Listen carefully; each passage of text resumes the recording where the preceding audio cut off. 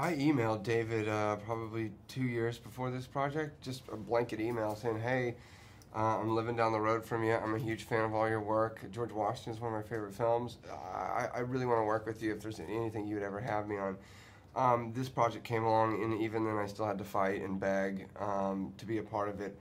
I worked in commercials for 10 years. It, I, I felt like I had a really good idea of, of advertising and marketing, um, and I'd met a lot of these creative execs. So I really wanted to, to get in there, and also the Peter's script that, that, that he had written with, you know, and he worked with, with George uh, and Grant so thoroughly that, that I wanted to, I really wanted to be a part of it. And I hadn't done a comedy in a while, and so I, it was, I was kind of jumping at the opportunity to, to, to work with George and Grant again, to work with David. I've been dying to work with Sandy, the cast that they put together. I mean, there's so many elements of this, this film. I mean, I say you'd have to be a fool to say no to this, but with that being said, I, I fought tooth and nail to get it. David's so much fun, his attitude on set, the way he is, but you take, he, he, he asks you to do things that you're just kind of, and you know, it's funny, most actors would question, like, why, why am I doing that? Or no, or I don't want to do that.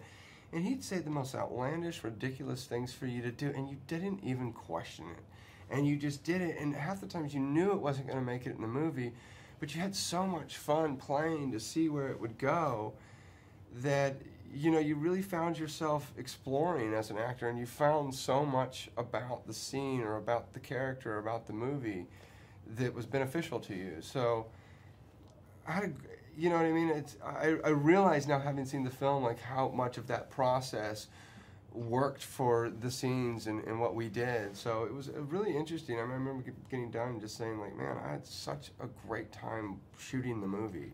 Um, I, I would really love to work with you again. I love the way that you work. Buckley comes, this is his first campaign that he's ever worked on. Um, he comes from the ad advertising marketing world and he sort of comes into this thinking that it, it, it's same product, uh, different, I mean, same game, different product.